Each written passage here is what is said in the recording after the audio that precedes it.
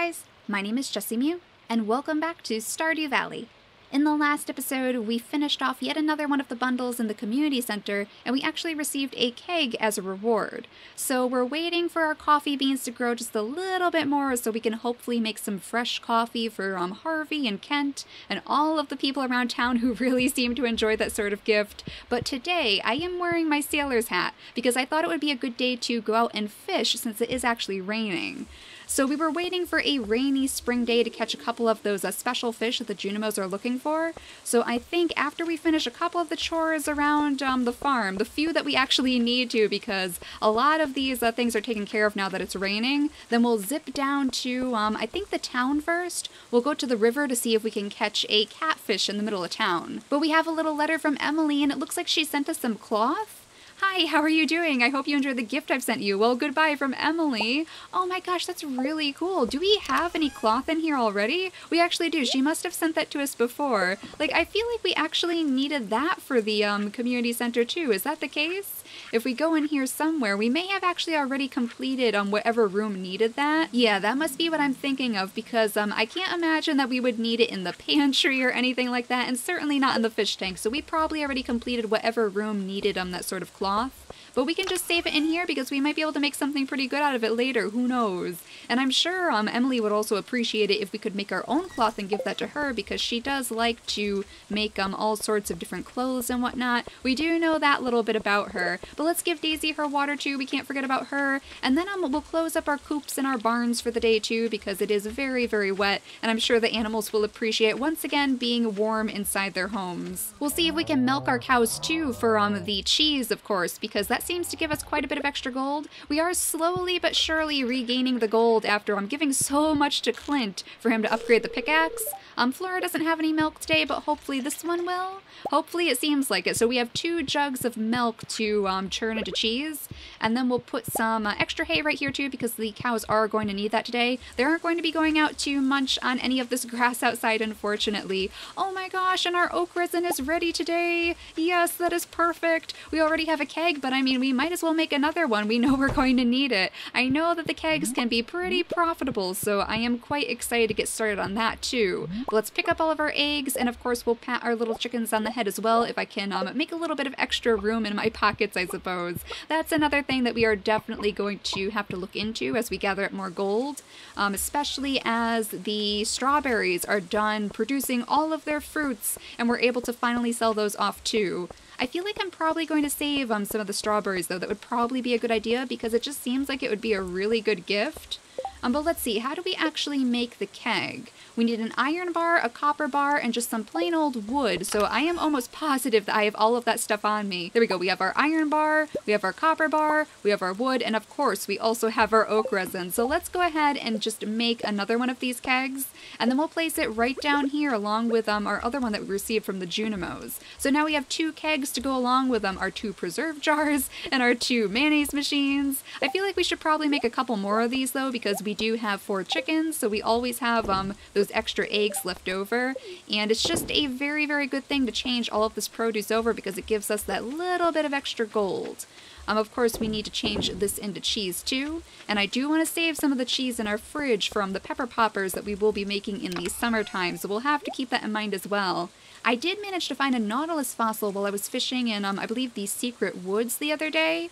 I found this, and we can apparently donate that to Gunther too, so that might actually be a good thing for us to take today since we are going that way anyway. I think the first stop is going to be um, the town because we can catch a catfish in the river in either the town or the forest. So I'll leave this in uh, my inventory right here, and then hopefully we'll be able to give that to Gunther if we have a little bit of extra time, because we're also going to have to hightail it down to the beach today to see if we can maybe fish up an eel. Those actually come out a little bit later though. I believe it's after 2 p.m. that the eels can possibly start showing up, so we're going to um, go down there just a little bit later. We have plenty of time to um, possibly catch a little catfish, but this is probably going to be one of our last chances because it's already the 17th of spring. Believe it or not, it's already the 17th. And for that matter, it's actually going to be Pam's birthday tomorrow. So yet another thing that we're going to have to think about, like what sort of gift are we going to give to Pam? We're actually fishing like right outside her house too. I wonder if she's watching that. Now I'm pretty sure I have bait on here, right? Yeah, I definitely do, but um, the fish are not biting at the moment. There we go, there's a fish.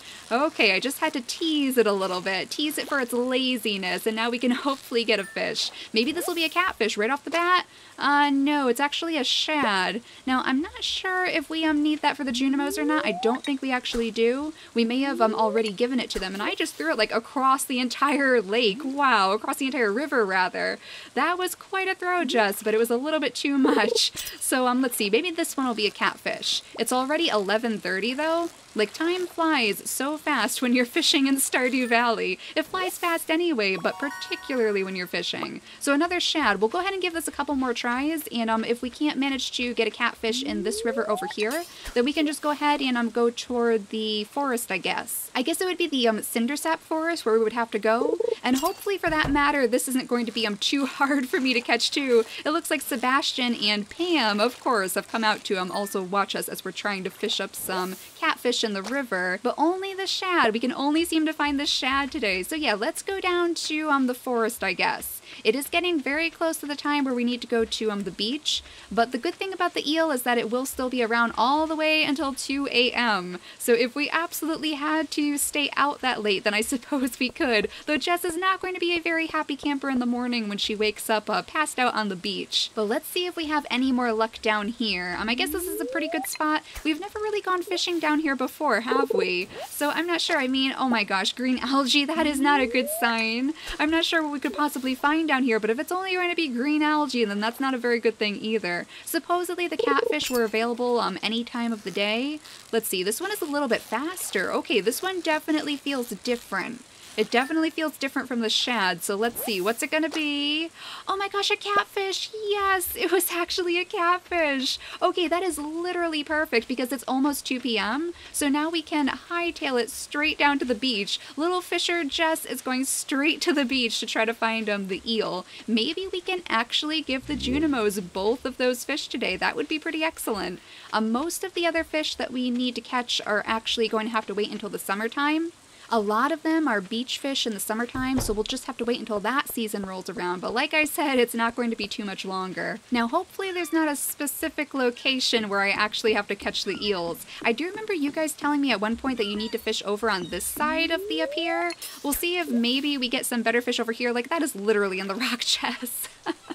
For some reason, I am always inclined to um, do a max throw, even when I don't need to. Like, maybe this is not a good idea, but we still have a fish. Okay. We have a fish who has um, swam straight into the rock, I guess. This one is very, very slow, but you can understand why. It's probably quite dazed. Okay, that was only a sardine, so let's move a little bit further away from that rock.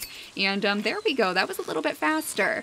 Uh, now this one is pretty slow too. It's kind of just like hovering right at the bottom. Are you okay, fish? I'm not sure about this guy. I'm a herring. Okay. Unfortunately, um, the quest that Willy asked for for the four herrings has already passed, so we're not going to be able to um, give that to him, even if we do catch four herrings today. But at least we know that this is where we can actually catch the herring, just in case we need to do it again. Let's scoot down this way, though. We'll scoot down a little bit this way. Oh my goodness, and Sebastian is actually out here in the rain.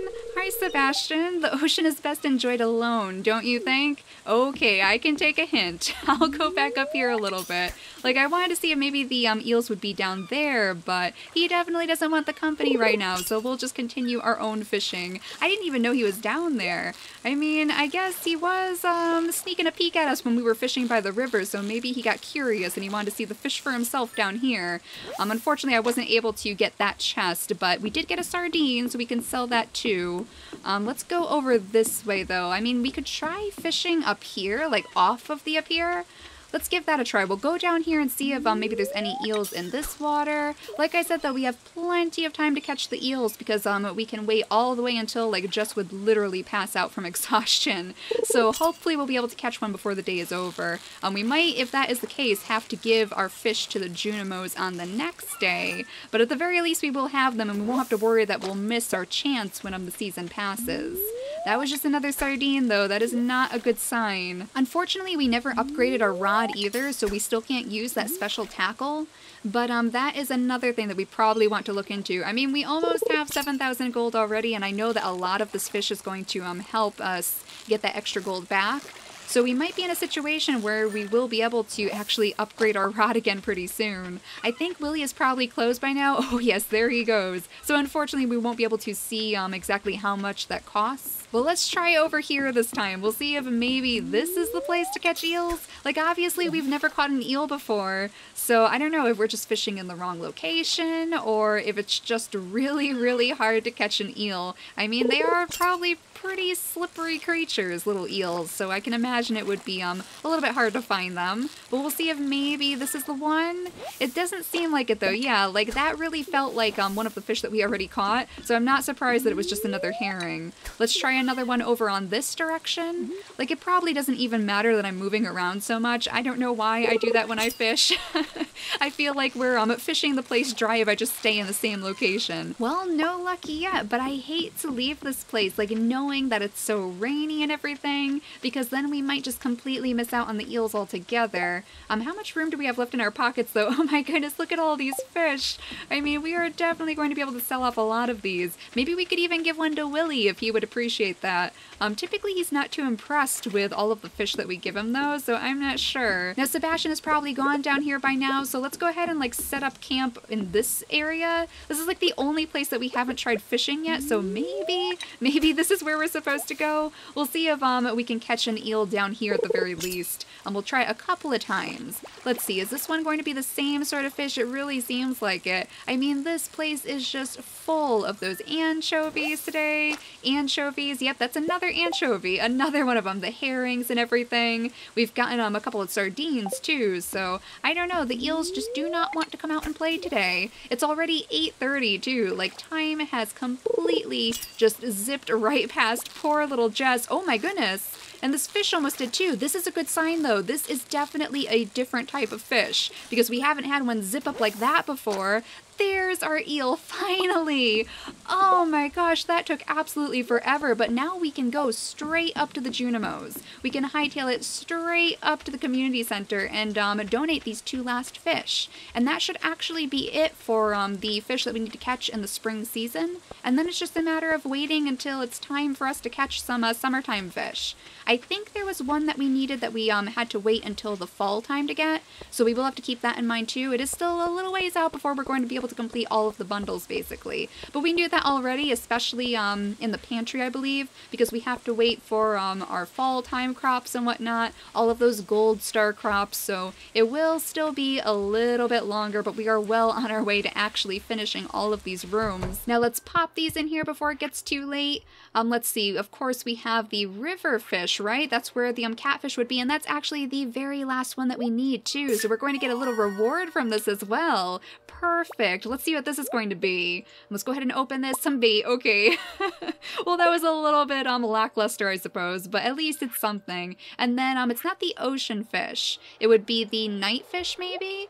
Okay, there we go. So we're just missing the walleye now, but I believe that was the fish that we actually had to wait until um the fall time to catch. But once we're done with all of these bundles, it looks like the glittering boulder will be removed. And I believe that's that thing that um is blocking a portion of the water right by the mines, right? I think so. Like if we went up this way, then we could probably see it. And in fact, I should probably light up the way because it is very, very dark. We could go around this way, loop around and see if there's anything um to forage as well. We might as well because we are always on the hunt for leeks for George. Especially now, oh my goodness, there's one. Especially now that um Evelyn is asking us for these leeks to um actually give to her husband. Apparently he likes it with, what was it, eggs in the morning? Quite interesting. But yeah, I'm pretty sure that this is the uh, glittering boulder that we want to remove once we finish all of those bundles for the Junimos. So it will be interesting to see what um that actually reveals once it's removed. I wonder if it's going to open up a new area or maybe give us access to different types of fish or something. I mean, it seems like typically when we do these big uh, bundles, when we complete the entire rooms,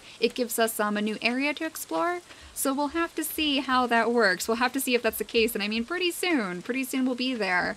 Um, but we'll go ahead and throw all of these fish into the bin to sell off because we have so many now. And I should probably take a very quick sneaky little peek in here too. Nope, still no fruit in our fruit bat cave. Like they have been very, very quiet all spring long. I'm a little bit worried about them, but we do have some cheese at least. We have some cheese and we should also have our very first um, little blue jazz honey, I guess it would be called. Let's make a spot for it in here so we can see. Um, yeah, some blue jazz honey. So that should be um, a little bit better quality than the uh, tulip honey, or the very least it should um, sell for more than the tulip honey did.